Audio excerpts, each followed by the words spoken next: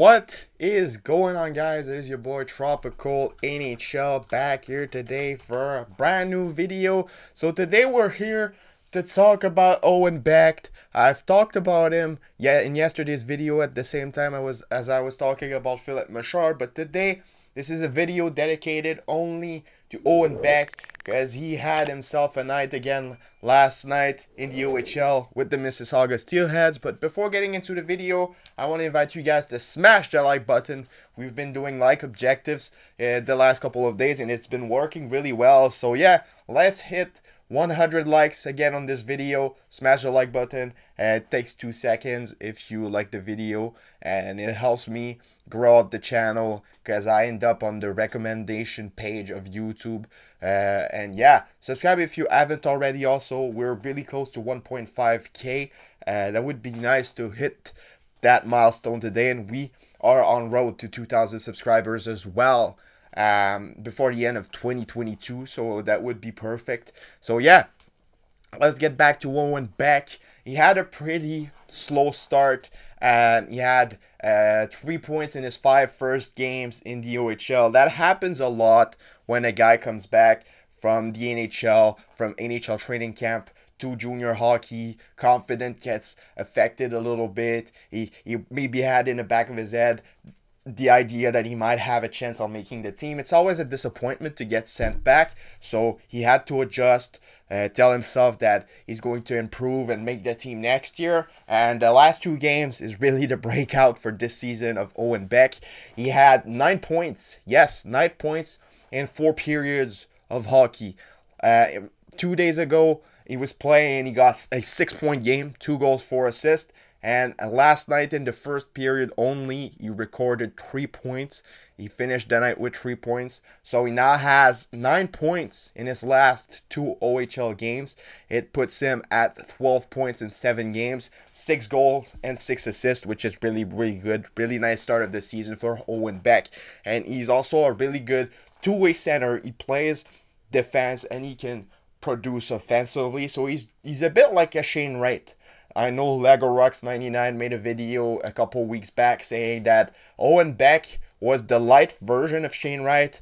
Uh, is he really? Is he really a light version of Shane Wright? Or is he closer than we than we think? I think that yeah, when Beck got drafted in the second round, uh, at the beginning of the second round, so he's basically a first round pick. You could have got easily drafted in the first round pick at the end uh, of the of the first round. Good pickup by the Canadiens with the first draft pick of the second round. Uh, yeah, but I think that he's closer than Shane Wright than people think. Um, in the last couple of years in OHL, there was not a lot of hockey being played over there. Um, yeah, because of the pandemic, they missed an entire season. They missed a lot of hockey. They didn't play a lot, and Owen Beck got affected by this as well. Uh, Shane Wright did, and it caught, it kind of made the the scouting a bit like all over the place because the the the the the scouts had um, less games to watch a prospect because usually they follow them on like two or three years of hockey in junior before coming in a draft. But this draft, they only got one season of watching them, so uh, it affected the infos they had before drafting the players. And I think that situation didn't help out Owen Beck. Maybe if he had an extra year in the OHL at 17, he would have been higher in, in the rankings. And I really think that Owen Beck, the way he's been playing, at uh, the Habs training camp um, and so far in the OHL, I really do think that he has everything that a first round pick has. I can even say that he is a top 20 pick in a draft, in my opinion. The way he plays both offensively and defensively in a very efficient way shows that he's a player that is going to be a really, really good player in the NHL.